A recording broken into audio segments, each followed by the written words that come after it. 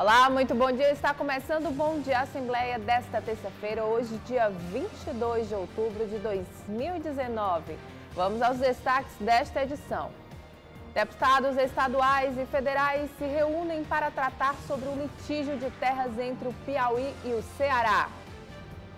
Parlamentares propõem ações itinerantes da Defensoria da Assembleia em bairros da capital e alguns municípios piauienses nós iríamos até os bairros. Não obstante, nós começaríamos também pelos maiores municípios e lá nós escolheríamos um local onde nós estaríamos ouvindo a população. Exposição interativa chama a atenção para a prevenção da Semana Nacional de Combate ao AVC. Após resultado negativo para a doença de mormo em cavalos, Parque de Exposições é liberado para a Expoap. E ainda, após exposição... o segundo teste, agora que já saíram os dois resultados negativos dos 55 animais que estavam alojados no Parque de Exposições, a DAP procedeu à desinterdição. E olha, é, Exposição Nordestinidades tem obras de 32 artistas piauienses.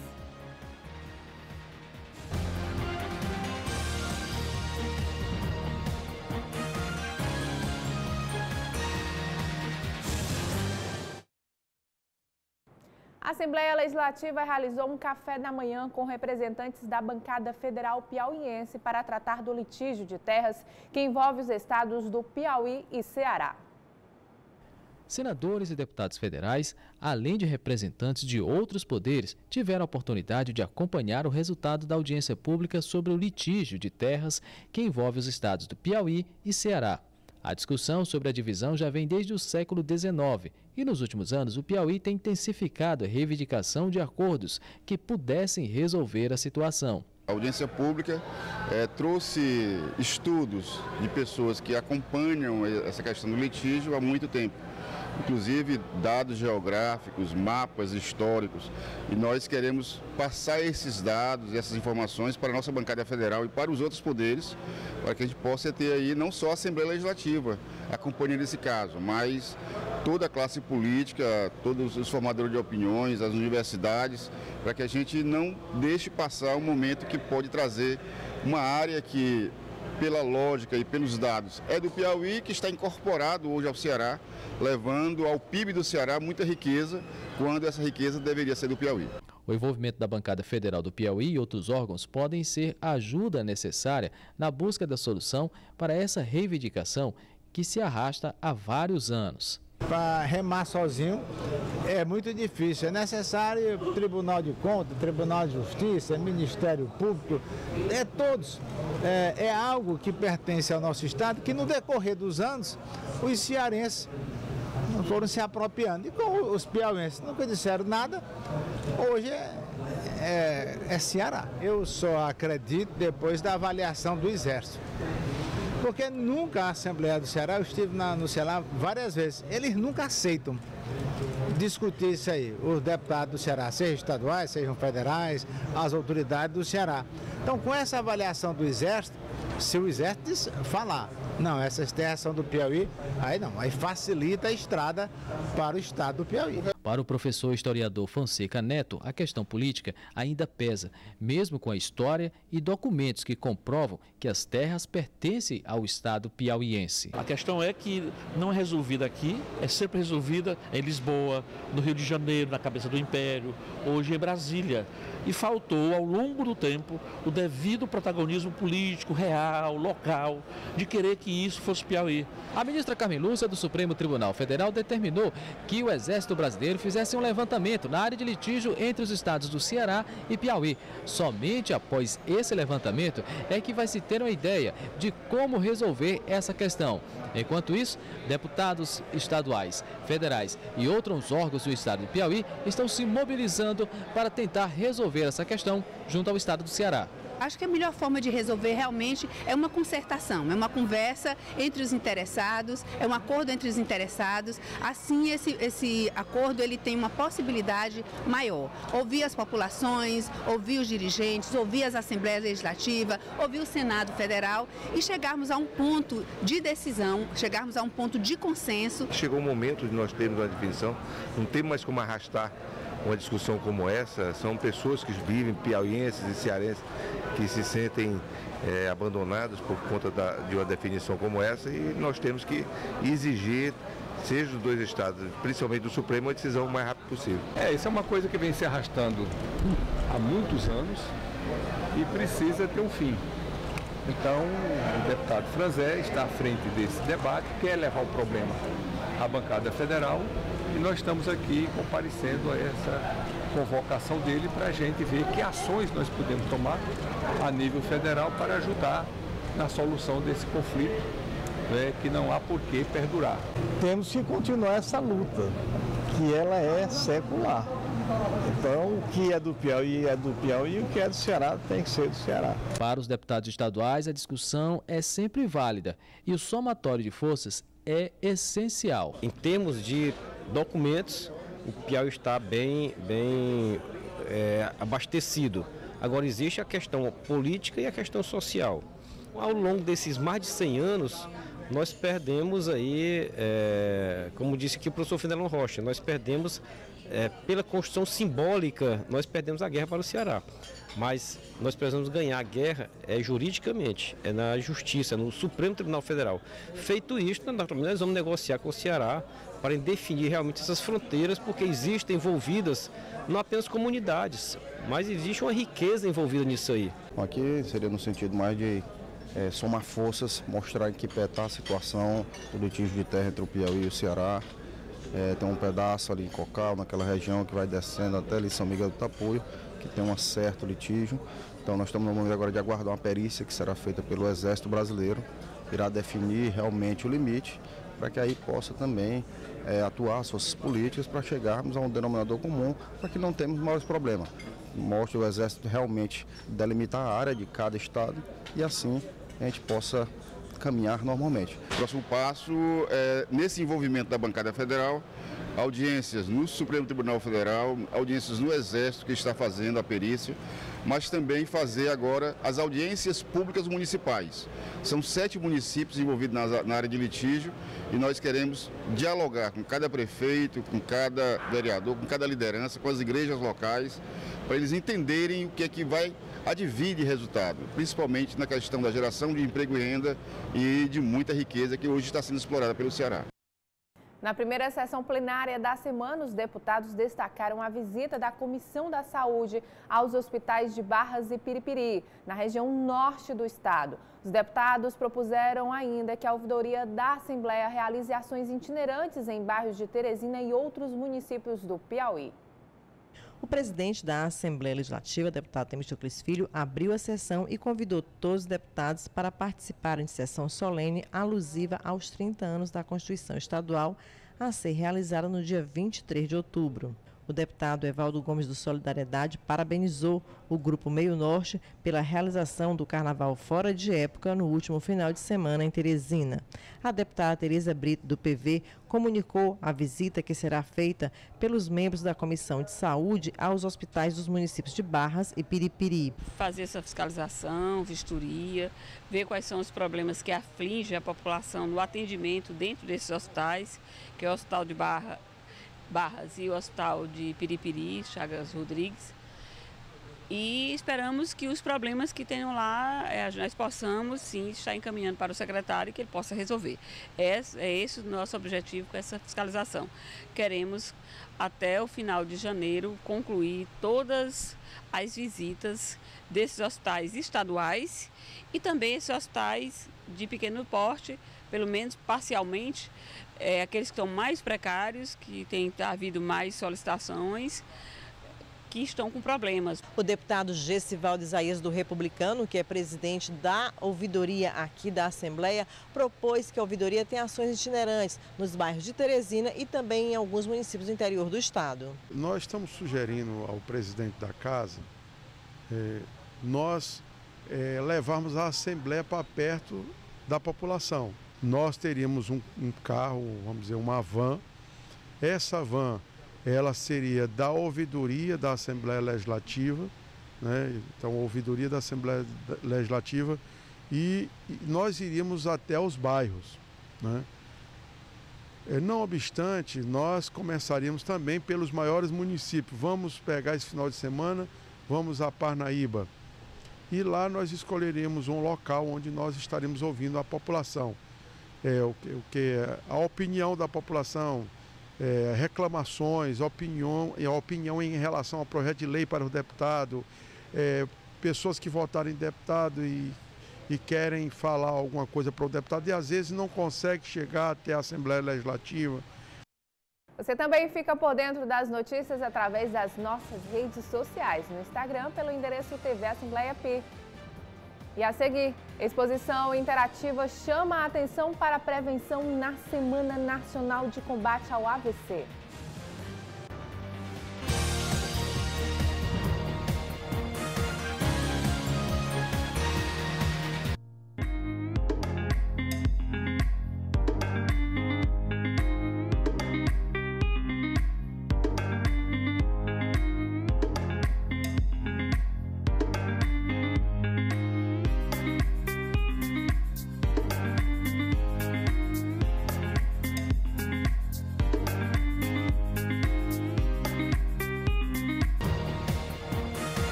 Vamos falar agora de saúde, com o objetivo de chamar a atenção para o tratamento rápido para o acidente vascular cerebral. A Associação Reabilitar iniciou em Teresina a campanha nacional de combate ao AVC. A novidade é uma exposição interativa que irá percorrer vários espaços da capital. Prevenção e conscientização sobre uma doença grave no país. Assim foi aberta a décima semana de combate ao AVC em Teresina. Na abertura do evento, uma exposição interativa sobre os fatores de risco da doença. A solenidade foi prestigiada por voluntários da área de saúde e pacientes que se recuperam das sequelas deixadas pelo acidente vascular cerebral. O presidente da Assembleia Legislativa do Piauí, deputado estadual Temístocles Filho, esteve presente no evento acompanhado do governador Wellington Dias e do secretário de Saúde Florentino Neto. É importante essa campanha. Do lado do secretário de Saúde, doutor Florentino, do lado do meu médico, doutor Benjamin. Eu sou a prova viva é, da capacidade do doutor Benjamin e da medicina do estado do Piauí. Agora é importante é, mostrar para a população os primeiros sintomas, o que é que os cuidados que o cidadão é, deve ter para que não possa acontecer. Mas o doutor Benjamin está mostrando aqui para todo o Piauí que de quatro pessoas, uma vai ter AVC. O melhor é se cuidar para que isso não aconteça. Durante a exposição interativa, o público vai poder conhecer os sintomas e a importância do atendimento rápido. O presidente da Associação Reabilitar pontuou a relevância da campanha nacional. Levar informações corretas à população, de uma maneira interativa numa exposição, onde a população possa participar, simulando um AVC, a pessoa vem visitar, você simula ele ficar com a boca torta durante um período, simula ele ficar sem fala durante um período no sinais do AVC, simula que ele esteja com déficit, com peso no braço, um peso na perna, para conseguir andar simulando um acidente vascular cerebral.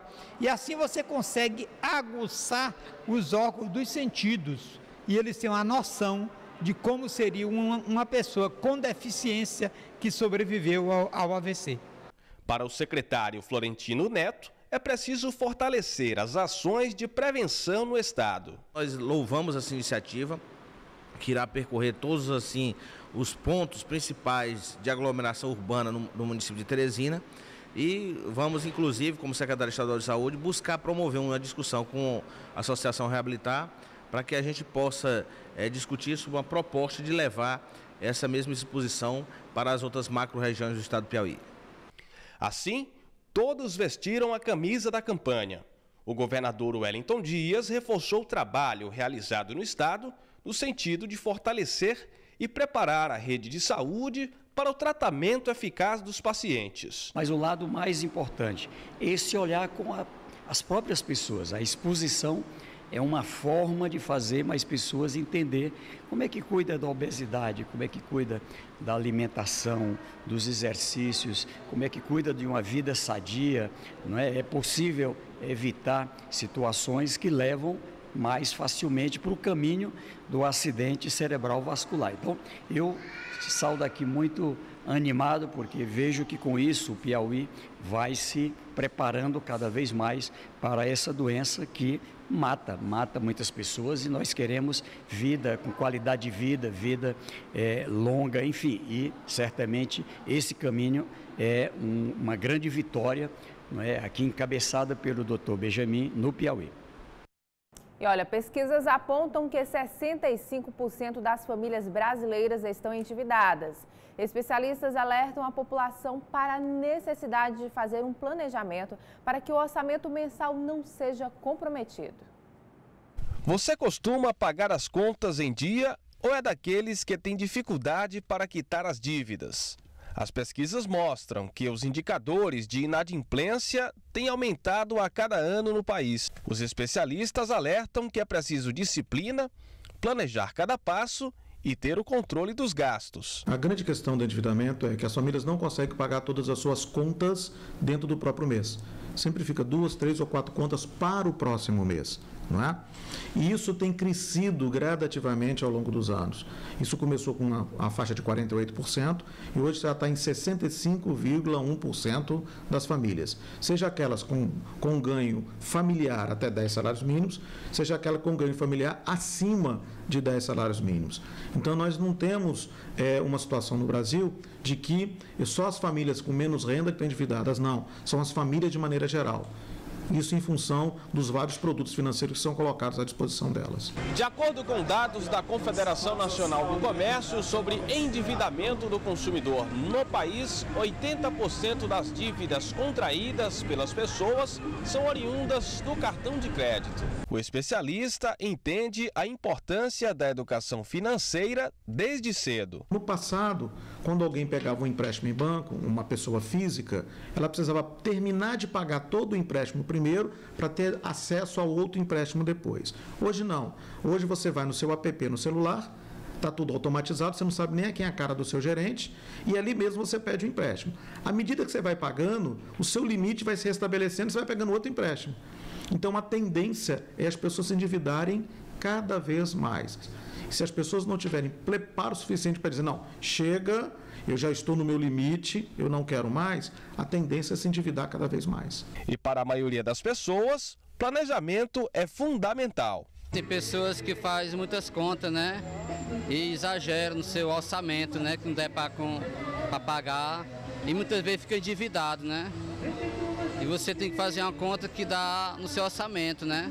para que não fica endividado, como muitas pessoas fazem, né? Organizar, né? Planejar é a melhor opção. A nova lei trabalhista que entra em vigor em novembro deste ano regulamenta o trabalho temporário.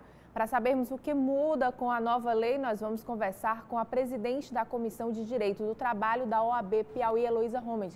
Seja bem-vinda ao Bom Dia Assembleia. Bom dia, Juliana. Bom dia. É um prazer estar aqui. Prazer é nosso. É, doutora Heloísa, essas novas regras foram estabelecidas, publicadas no Diário Oficial da União na semana passada. O que, é que muda aí, vamos dizer? Na verdade, não vem modificar, vem regulamentar, né? Vem esclarecer mais sobre a lei, na verdade, 6.019 de 74, que regulamentava já o trabalho temporário e teve a inclusão com a reforma trabalhista é, em 2017 pela Lei 13.429 da, dos trabalhos terceirizados. E agora, essa regulamentação ela vem diferenciar ainda mais o trabalho terceirizado do trabalho temporário. O que é que podemos, então, aí, é, vamos dizer, caracterizar como trabalho hum. temporário? Justo. Essa lei ela vem conceituar o que seria esse trabalho temporário, né? Esse trabalho temporário, Juliana, é o trabalho desenvolvido para uma demanda complementar de serviço ou mesmo ah, em atividades é, imprevisíveis, né, ah, para substituição de pessoa, ah, de profissional permanente da empresa. E aí eu tenho uma empresa interposta que é a empresa de trabalho temporário, que vai contratar né, e fazer essa intermediação entre o trabalhador temporário e a empresa tomadora de serviços ou o cliente final. Em relação à questão salarial, como é que é feita essa discussão com essa nova regulamentação? Certo. A discussão salarial é o seguinte: ficou o mesmo padrão do trabalhador normal, ou seja, o trabalhador temporário ele tem os mesmos direitos do trabalhador efetivo da empresa, porque a grande diferença da terceirização para o trabalho temporário é que no trabalho temporário eu tenho a substituição de uma pessoa permanente da empresa, então eu tenho a substituição de mão de obra do trabalhador. Na terceirização, não, eu tenho a substituição através da contratação de um serviço e não de uma pessoa. Então, eu contrato não José ou João, eu contrato é o serviço, por exemplo, de limpeza ou de conservação. No trabalho temporário, eu contrato José ou João para substituir Maria ou Joaquim. Então, eu tenho essa diferença aí na contratação, na modalidade. E os direitos têm direito à hora extra, caso venha a efetivamente realizar a jornada deve ser de 8 horas diárias. É, tem direito a férias proporcionais, porque é um contrato que tem um tempo limite. Então, esse prazo desse contrato é de 180 dias no máximo, podendo ser prorrogado por mais 90 dias. Tá? E um detalhe interessante é que eu não posso, nessa modalidade de contrato, contratar o trabalhador por experiência, porque ele já tem um prazo definido. E esse prazo não se confunde com as regras da CLT em relação ao contrato por prazo determinado. Então, é um contrato diferenciado. Por exemplo, pode ser muito utilizado agora nessa fase de final de ano. Uhum. Trabalhador, a, a, empresa tem uma necessidade de contratar para Black Friday uhum. ou mesmo para as festividades de Natal. Né? As festas a gente sabe tem um aquecimento do comércio, então pode haver essa contratação sem o vínculo direto sem criar já como, empre, é, como empregado, e sim contratar uma empresa interposta que venha intermediar essa mão de obra. Doutora Heloísa, quando a gente fala dessa questão do trabalho temporário, a senhora citou logo no final de ano, né, que a gente Sim. sabe que aumenta bastante o fluxo nas lojas aqui da capital e realmente essa necessidade de contratação de mais pessoas para trabalhar. Sim. E aí a gente tem, às vezes, o excedente das horas de trabalho. Uhum. No caso, nesse contrato de serviço temporário, qual é a jornada de trabalho desse empregado? A jornada é a mesma, é máximo de 8 horas diárias, podendo, caso o empregado venha a desenvolver, por conta de uma atividade específica dessa, dessa tomadora de serviço ou desse cliente, um, um, trabalho em jornada excedente, né, em horas extras, ele receberá o adicional mínimo de 50%, além do valor da hora normal de trabalho. No caso do contrato com esse é, trabalhador, trabalho temporário, uhum. é preciso assinar a carteira ou apenas é preciso fazer um contrato? Sim, é preciso assinar a carteira, que agora inclusive pode ser digital, né, pelas novas regras também do governo. Só que esse contrato é um contrato solene. Eu preciso ter um contrato por escrito, não basta ser verbal, de trabalho que determine que esse trabalhador é trabalhador temporário. E esse contrato, inclusive a empresa, a intermediadora de mão de obra, que é a empresa de trabalho temporário, ela tem uma série de regras, uma série de, uh, de determinações que o regulamento vem trazer para a contratação desse pessoal. Então, ela tem que ter, inclusive, um capital mínimo, ela tem que ter um, um E-social, ela tem que estar no E-social, ela tem que estar regularizada com o CNPJ ativo, é, todos os, todos os padrões bem, bem organizados. Por exemplo, uma empresa com até 10 trabalhadores, ela tem que ter um capital social mínimo de 10 mil reais e assim sucessivamente. Doutora Heloísa, caso esse contrato seja estipulado 180 dias de contratação desse empregado, mas ele seja quebrado ao longo desse trabalho, qual o direito desse trabalhador? Ele tem os mesmos direitos de uma dispensa sem justa causa, né? Então ele tem ah, os mesmos direitos de dissolução desse vínculo. Agora um detalhe importante, Juliana, de pontuar é que esse contrato ele pode ser de 180 dias, prorrogável por mais 90, só que não precisam ser dias consecutivos. Então eu posso ter a quebra do tempo desse, a, dessa, desse prazo. Então, eu posso contratar, por exemplo, para uma demanda excepcional, demanda complementar de serviço, uma demanda periódica ou um contrato intermitente, trabalhador por 30 dias. Depois, eu tenho uma necessidade mais à frente de contratar novamente por mais 30. Então, não precisa ser consecutivo. Então, vamos imaginar, por exemplo, que eu tenho uma empresa que é um hotel que só funciona, um hotel fazenda, tem um maior fluxo é, de pessoas em determinado período é, do ano. Então, essa, esse trabalho mais sazonal, que tem uma demanda complementar de serviço, pode ser contratado através de trabalho temporário. Presidente, para finalizar a nossa entrevista, é, na sua avaliação, o que é que representa, vamos dizer, essa regulamentação para o trabalhador brasileiro? É uma maior segurança jurídica, né, no sentido de que os trabalhadores que forem ah, arregimentados por esse tipo de modalidade de contrato, eles têm uma maior segurança da espécie de contrato, com regras mais bem definidas, inclusive com conceitos sobre o que é essa empresa de trabalho temporário, sobre a taxa de arregimentação. Então, por exemplo, a empresa, ela, a, a empresa de trabalho temporário, ela pode é, receber né, uma taxa pelo agenciamento dessas pessoas, mas da empresa tomadora de serviço, jamais do empregado. Então, o trabalhador temporário, que é empregado dessa empresa de trabalho temporário, uhum. ele não pode ser cobrado por essa empresa pela intermediação, sob pena, inclusive, de se desfazer o contrato. Então, acho que vem esclarecer mais, vem trazer alguns, ah, alguns direitos, pontuar melhor nessa lei e trazer maior segurança para o trabalhador, sem tá, dúvida. Tá ok, então a gente agradece a participação da presidente da Comissão de Direito do Trabalho da OAB Piauí, Heloísa Homem. Muito obrigada pelas informações, um ótimo dia. Eu que agradeço. E olha, não esqueça de acessar diariamente nossas redes sociais, no Facebook pelo tvalep.oficial. E a seguir, após resultado negativo para a doença de morro em cavalos, Parque de Exposições é liberado para a Expoap.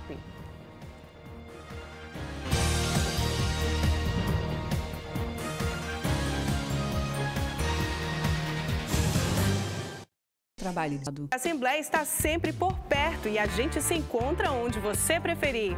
Na TV aberta, canal 16.1, na NET, canal 7, na Vivo TV, canal 9, na Oi TV, canal 215, na Sky, canal 316.1 e na internet, tvassembleia.org. A TV Assembleia é o que liga.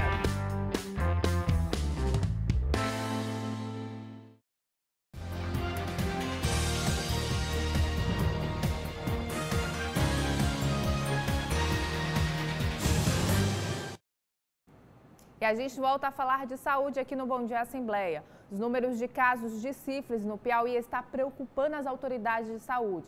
Somente em 2019 foram registrados cerca de 3 mil novos casos no estado.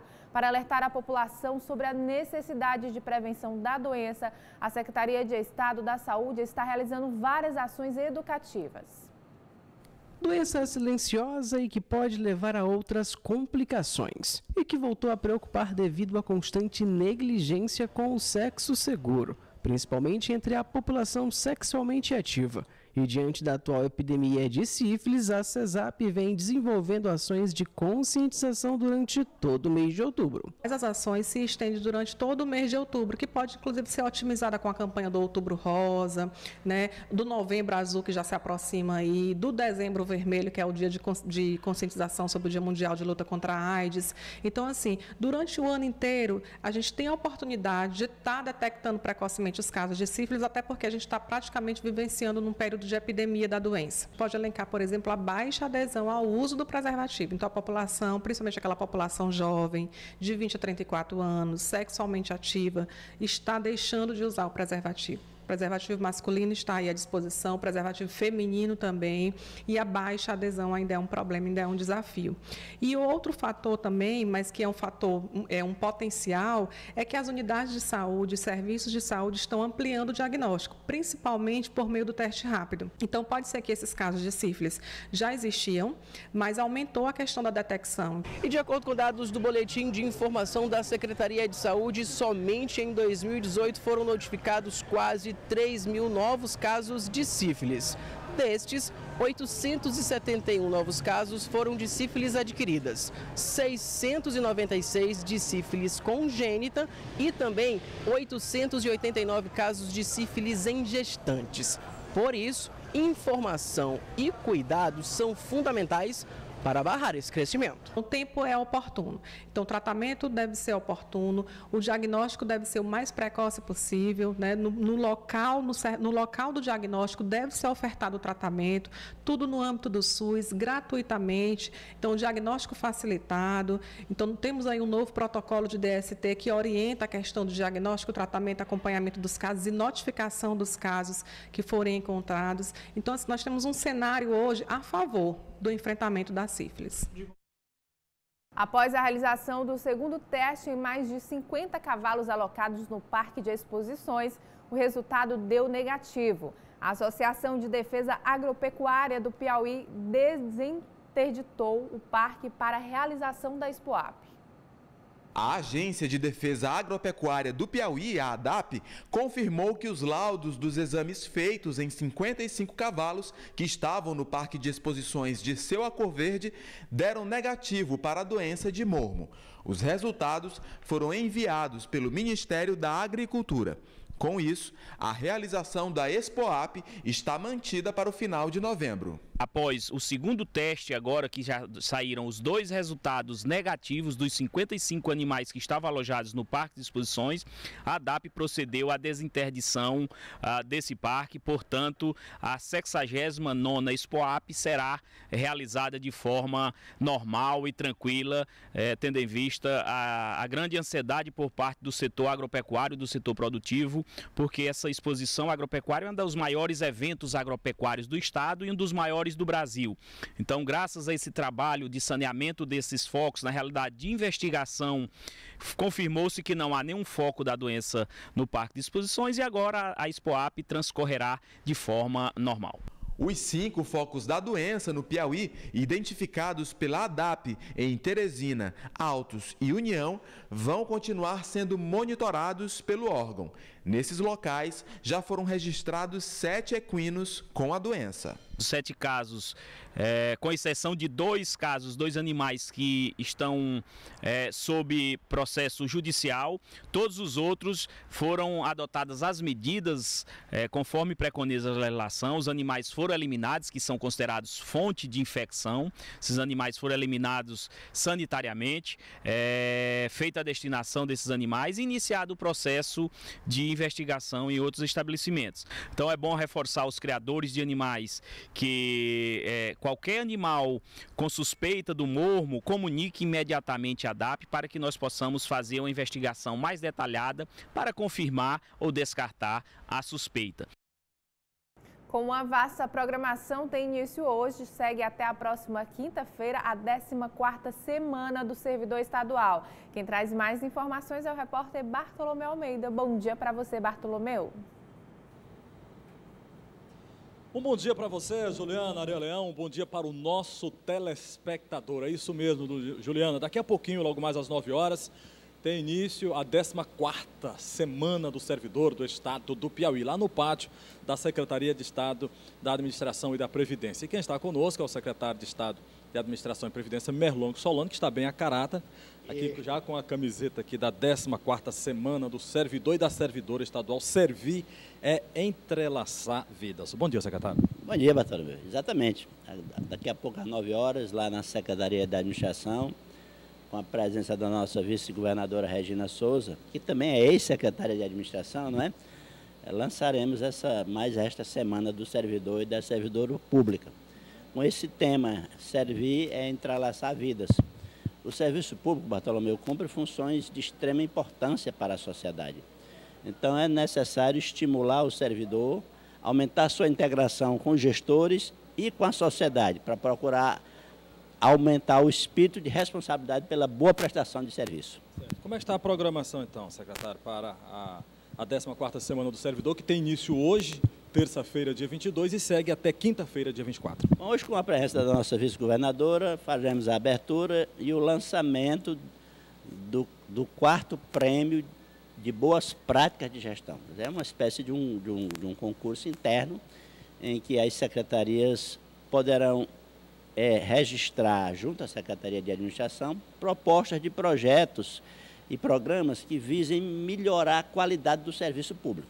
Então, nós recebemos as inscrições, faremos o julgamento dos projetos e três deles serão premiados. Não se trata de grandes prêmios em dinheiros, é mais procurar dar visibilidade.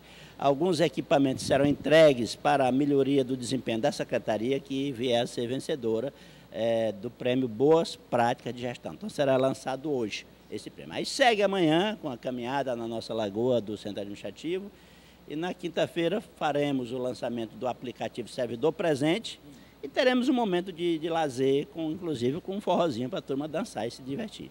Aqui ninguém é de ferro. Secretário, eu gostaria que você falasse mais sobre esse aplicativo. Como é que ele vai acompanhar, então, as atividades do servidor do Estado? Pois é, este aplicativo, Servidor Presente, integrará um conjunto de três programas, de três sistemas que nós estamos é, já executando. Através do servidor presente, no primeiro momento, o servidor poderá é, ter informações sobre, por exemplo, ponto eletrônico.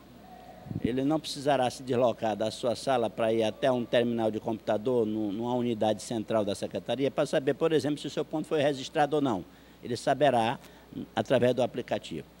Poderá receber notificações.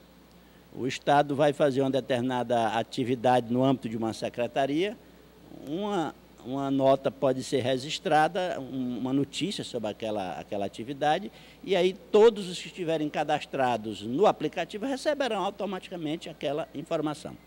E com o tempo ele, ele, a, eles, a eles serão agregadas outras funções que digam respeito ao, ao interesse pessoal do servidor e também ao serviço que ele presta na secretaria. Secretário, o governo do estado fez um cadastro né, dos servidores. E como é que está hoje esse cadastro? Há necessidade de um novo recadastramento? Qual é a situação? O que é que o governo do Estado sabe do perfil do servidor do Estado do Piauí, através dessas informações, secretário?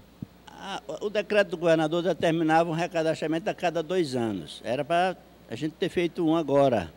Mas como há a necessidade de fazer um cadastro geral dos servidores inativos no início do ano que vem, junto com o, o, Ricardo Pontes, que é o gestor da Piauí Prev, nós resolvemos deixar para fazer numa ação só o recadastramento no início do ano, porque tanto será o recadastramento do servidor ativo, quanto o recadastramento do servidor inativo e também dos pensionistas. Com isso, nós ficaremos com um quadro geral. Além do mais, Bartolomeu, nós estamos já implantando o Sistema Integrado de Gestão de Pessoas, que é um sistema que reunirá numa única plataforma todas as informações sobre folha de pagamento e recursos humanos, tanto ativos quanto inativos, porque hoje essas informações estão dispersas em vários sistemas. Um sistema só, que já está sendo implantado em seis órgãos, e até agosto do ano que vem nós teremos em todos os órgãos do Poder Executivo, ah, o governo terá melhores condições de ter um conhecimento geral sobre a realidade da folha e dos recursos humanos. Não se trata só de controlar a folha, isso é necessário, porque a folha é a principal despesa. Mas também de saber onde está o servidor público, que qualificação ele tem, quais as atribuições que ele está desempenhando, para que a gente possa otimizar a utilização do, do, principal fator de prestação de serviço que o Estado tem, que são os recursos humanos que ele contrata e paga todo mês com um grande sacrifício. Como eu já disse, é a principal despesa, nós precisamos mobilizar esses servidores e servidoras para uma, uma, uma a melhor prestação possível de serviço à sociedade. Secretário, então para concluir a nossa entrevista, faça o convite aí o programação aberta, não é isso? Para o servidor. Daqui a pouquinho, então, tem a abertura oficial da 14ª Semana do Servidor. Secretário Merlon. Pois é, então convido a todos a comparecerem. Teremos hoje a abertura lá na própria Secretaria de Administração, a feira do, do servidor público todos os dias. Amanhã uma caminhada em volta da Lagoa. Na quinta-feira teremos um momento de lazer lá na DUF, inclusive com um bom forró para a gente dançar, tocado pela banda Cheyenne. Eu mesmo estarei lá dançando, viu? Obrigado. Tá bom, secretário de Estado de Administração, Merlong Solano.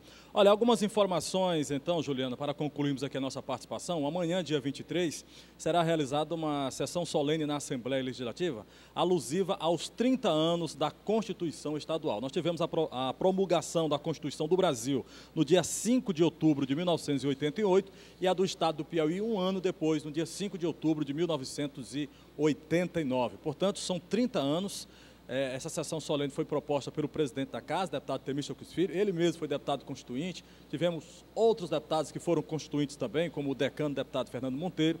Esses deputados serão homenageados amanhã, portanto, às 10 horas, a sessão solene em homenagem aos 30 anos da Constituição do Estado do Piauí.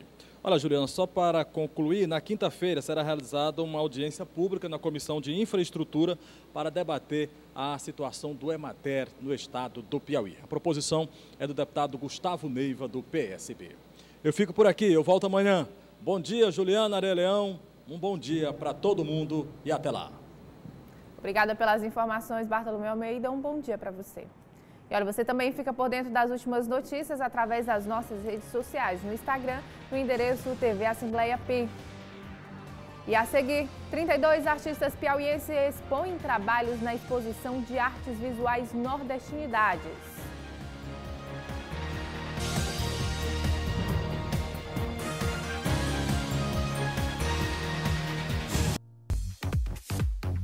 O mundo está cada vez mais dinâmico. E para ficar bem informado, acesse www.tvassembleia.org. Conteúdo na velocidade que você precisa e mais. Você pode assistir a TV Assembleia ao vivo, onde você estiver. Curta também a nossa fanpage, tvalef.oficial, e nosso canal no YouTube, Legislativo PI. tvassembleia.org é o que liga.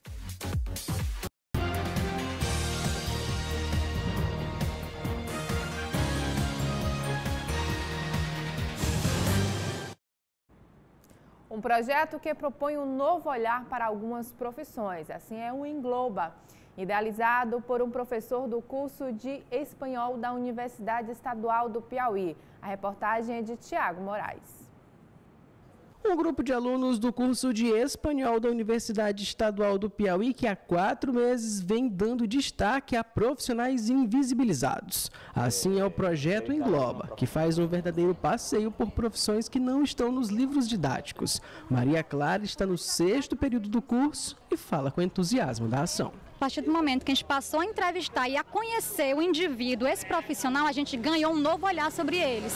E a gente passou a valorizar esse profissional na sociedade. E o interessante também de participar desse projeto é desconstruir certas ideias que a gente tem sobre determinados profissionais e a valorizar a importância deles. Todos esses profissionais, desde os mais valorizados aos menos valorizados na sociedade, são importantes e constrói a cidade de Teresina, constrói o nosso Brasil. Mas o que acaba chocando é por que, que determinado grupo é privilegiado e porque outros são tão desprivilegiados na sociedade. O projeto, que oferece uma visão diferente das mais variadas profissões, faz parte de uma pesquisa sociocultural do professor e orientador da turma Cleidinaldo Guerra, que também coordena o blog do projeto, onde são postados todo o material produzido nas aulas de campo. Esse projeto ele tem a finalidade de fazer com que os alunos eles se apropriem de um novo vocabulário e uma realidade é, vivenciada nas ruas da cidade, é, com profissionais dito de ruas, profissionais invisíveis. Então, ele se apropriou dessas novas palavras em espanhol, na realidade da língua portuguesa no Brasil, e aí eu vou passar para o virtual, através de um blog e um grupo de WhatsApp. São várias habilidades que nós trabalhamos. O projeto ele sai dos muros da universidade, daquele âmbito acadêmico mais tradicionais, tradicional, e assim, esse aluno no âmbito social, eu quero que, que ele vejam também os profissionais de uma forma mais prática, certo? Ele vai aprender não somente habilidades linguísticas, como é o caso da leitura e da escrita em espanhol, mas também que ele seja sensível a essas pessoas no âmbito familiar, no âmbito profissional. Nessa forma desse projeto é dar visibilidade também a esses profissionais, mas também que esses alunos tenham esse ponto crítico de olhar a sociedade de uma forma mais humana. E depois de visitarem diversos pontos comerciais da capital, a turma realizou mais um trabalho de pesquisa no tradicional polo cerâmico, com direito a conversa em espanhol, visita às lojas de produtos artesanais e entrevista com gente como o Sr. Ribamar, artesão com mais de 60 anos dedicados ao ofício que passa de geração em geração. Aprendi com meu pai, ensinei meus filhos e agora estou trabalhando com os netos já. Representa muita coisa. Sinto feliz por isso. Por quê? Porque, de qualquer maneira, eu, com a minha idade que eu, que eu tenho de 70 anos, eu estou trabalhando, para mim é muito bom.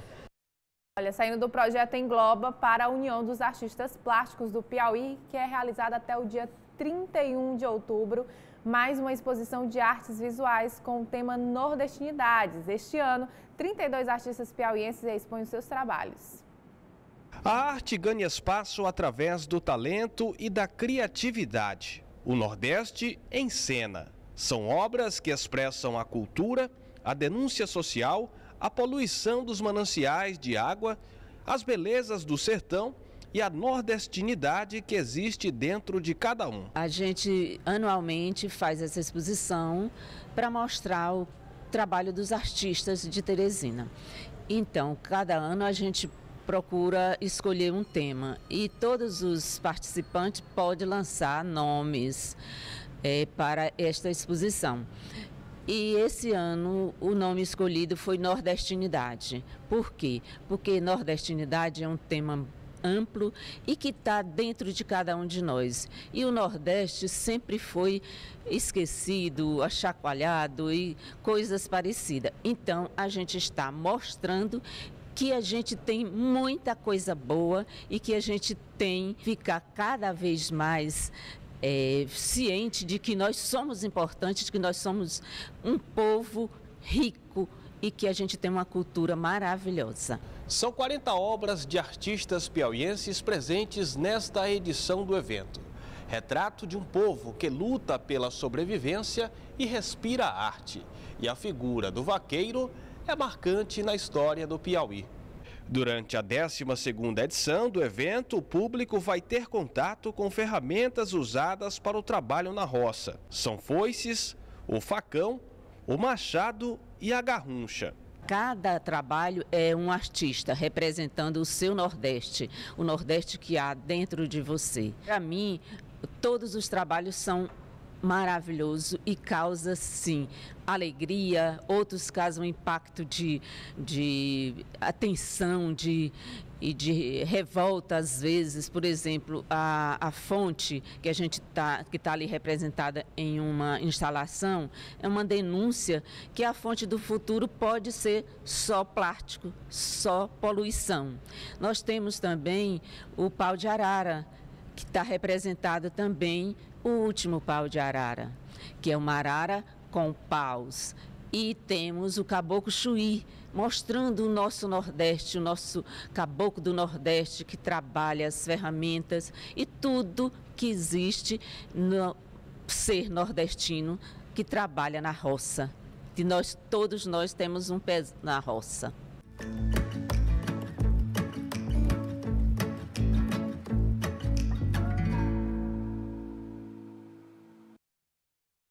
Olha, as obras estão expostas no Espaço Cultural Cosme Oliveira, na Avenida Campos Sales, número 111, centro de Teresina. E não esqueça de acessar diariamente nossas redes sociais, no Facebook pelo tvalep.oficial. E a Pauta Cultural faz sua gravação especial de fim de ano, daqui a pouco.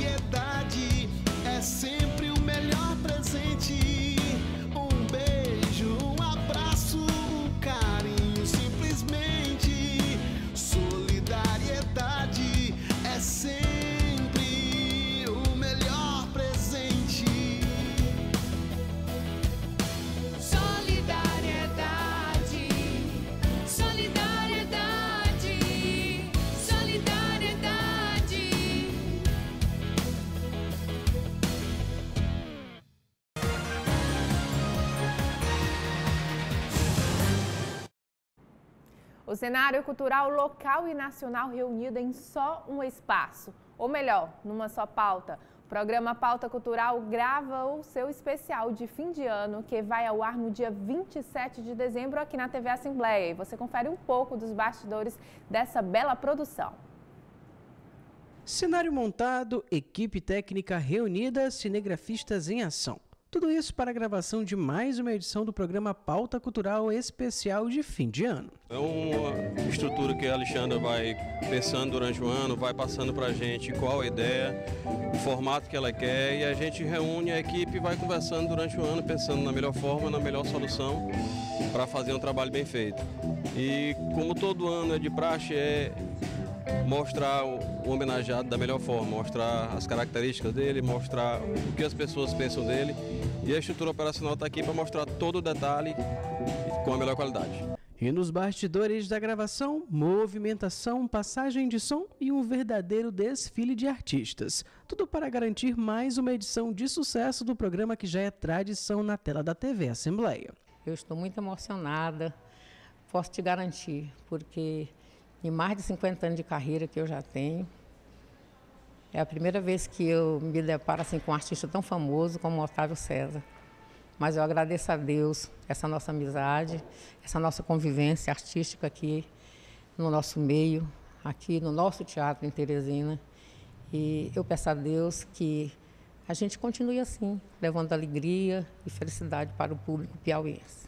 Tenho certeza que vai ser uma noite linda, maravilhosa. Nós temos aqui grandes artistas nacionais e internacionais. O Piauí tem muito a, a, a comemorar com a qualidade do talento dos músicos, dos compositores, dos cantores, não é, dos intérpretes. E o, a nossa, o nosso nome vai Aleimar. É o nome da música piauiense, é uma música que ela tem, ela já é reconhecida com o talento do Piauí no mundo todo. Todo pauta parece que vem com uma cara nova.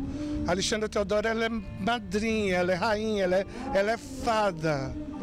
Entende? Então assim, se emocione, respeite, respire, aplauda o que é feito aqui no Piauí com muito carinho para você que está aí de trás dessa tela. Um programa que é um verdadeiro presente com apresentações especiais para celebrar os 59 anos de carreira do ator, cantor, humorista e apresentador da TV Assembleia Otávio César, que entre um ensaio e outro, antes do início do programa, falou da homenagem. O meu coração está pleno, meu coração está cheio de alegria é, por essa homenagem maravilhosa que a nossa querida Alexandra Teodoro me presta nesse momento em que eu completo 50 anos de carreira.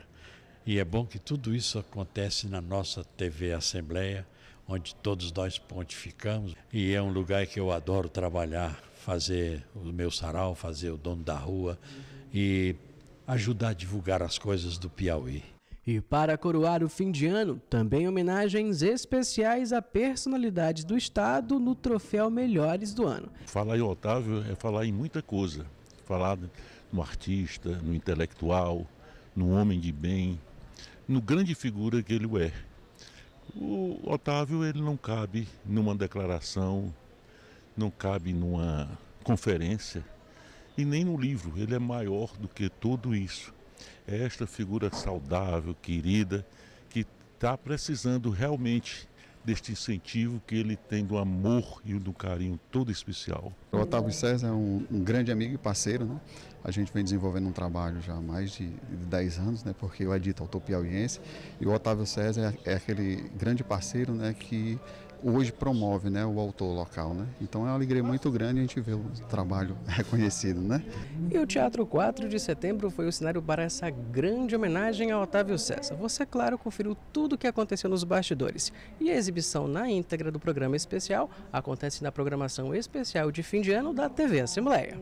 Esta é a oitava edição do programa, é o oitavo homenageado pela TV Assembleia. Dessa vez o Otávio César, que é humorista, ele é cantor, ele, enfim, ele diz que é tanta coisa voltada para a arte, né? E aí também a apresentadora aqui da TV Assembleia, é, com o Sarau 16 e também com, com o quadro Dono da Rua. Então, assim, né?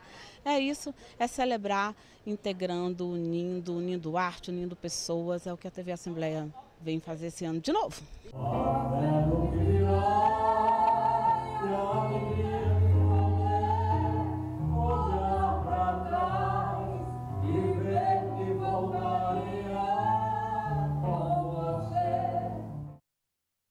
E o Bom Dia Assembleia de hoje fica por aqui. A gente se encontra amanhã. Até lá então. Tchau!